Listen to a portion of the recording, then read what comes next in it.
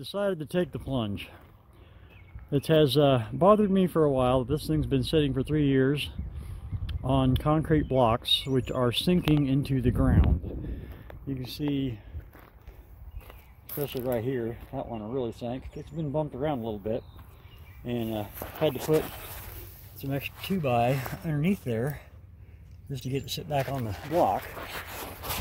So I'm always afraid that I'm going to end up with twist in the rails, which I mean, I've re-leveled it this year, but it's just time to redo this base.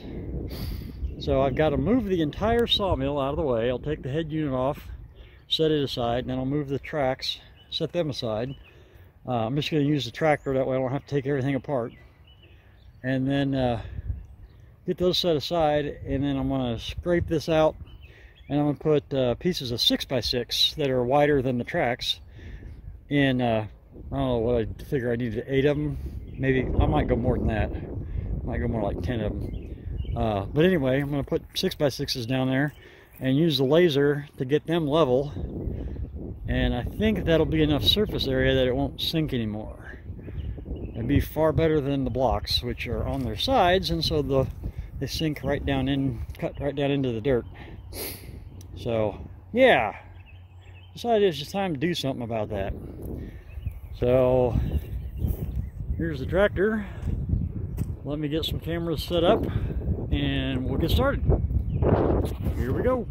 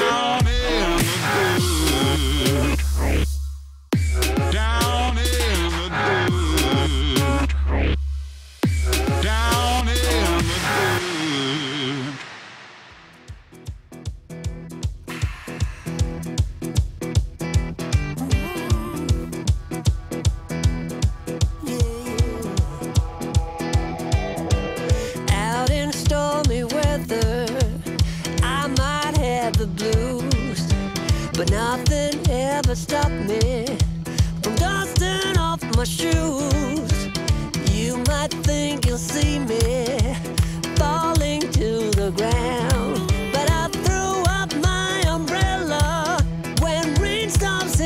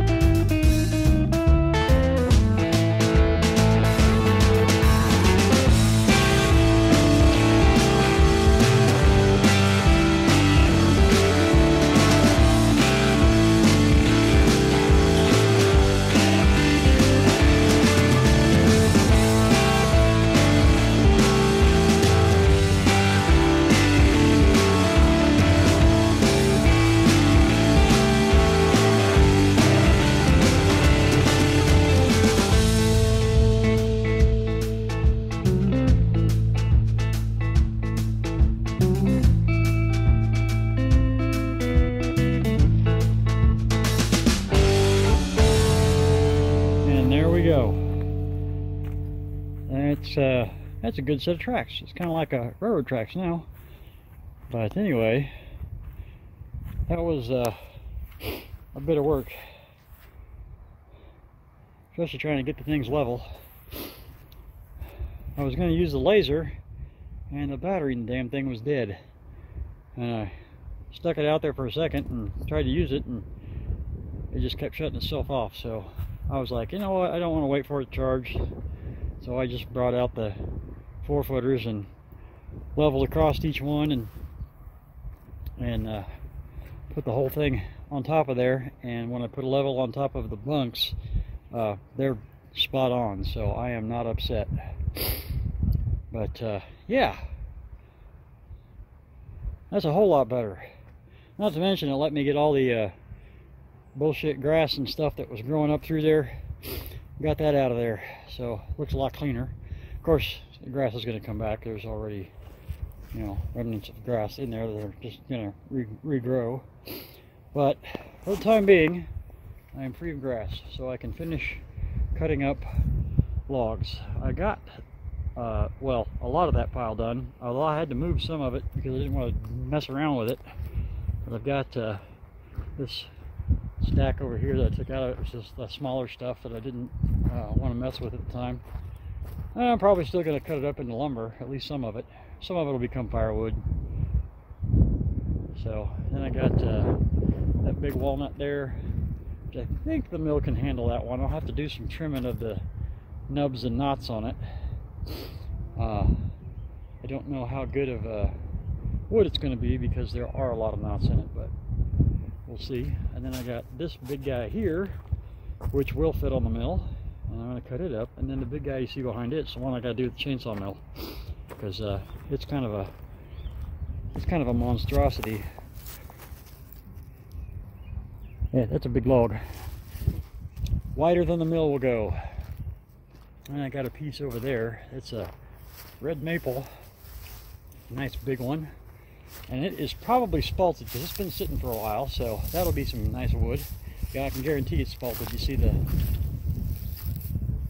fungus are growing out of it yep that's going to be spalted so I'll have to get on that one get it cut up so we can stop the spalting and I've got some cedar sitting over here and a couple of oaks that are they're short but they're big so I think one of them I can get on the on the chains on the uh, bandsaw mill, but the other one is going to have to be chainsawed. It's uh, it's a bit bigger.